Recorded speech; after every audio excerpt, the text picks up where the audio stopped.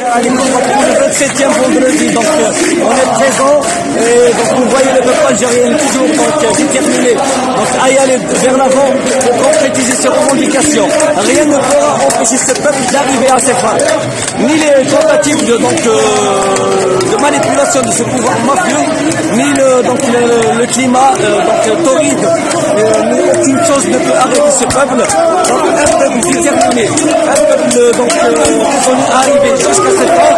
Euh, donc euh, comme on le dit donc base, c'est lui le problème.